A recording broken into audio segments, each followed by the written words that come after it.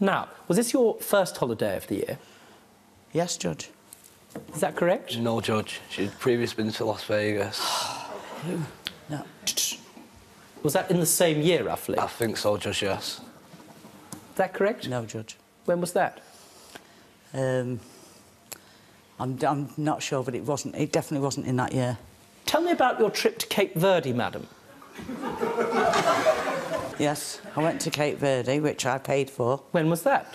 How much was that, roughly? Maybe £800, maybe. How was it that you were able to afford, within a 19-month period, Uh-huh.